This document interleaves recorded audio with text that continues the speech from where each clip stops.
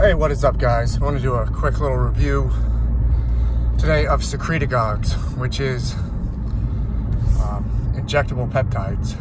You know, I'm talking about your Sermorelin and Ipamorelin. And um, mixed, I got mixed reviews, you know, some good, some bad. Um, let's start with, let's start with the bad, all right? If you don't exercise or you don't do anything, then it's not really gonna do anything for you. Um, yeah, the uh, cost, they're, they're pretty, uh, they're, you know, they're, they can be expensive for sure. Um, just depends on what your budget is.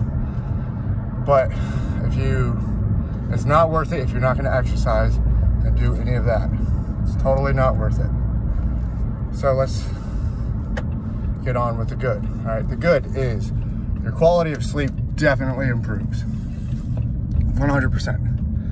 Know, um, I found myself sleeping like a baby, you know, in ages. And, you know, I've been sleeping like a baby before, but like, I'm talking about like deep sleep where I don't even have to get up to go pee at night. Deep sleep. So it's pretty nice, you know, it's refreshing.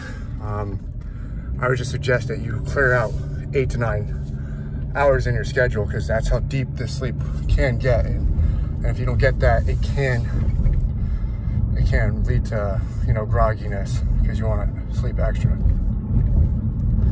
But other than that, you know, if you exercise, whatnot, your strength will go up. You will lose fat. Um, it's not the real deal as in, you know, steroids or anything like that. But um, if you're thinking about taking supplements or just doing this, I highly suggest that you just do the secretagogue because the supplements are nug. Not that uh, won't do anything for you.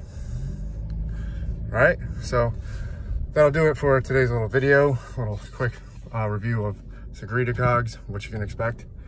And with that, I'll see you guys on um, the next video.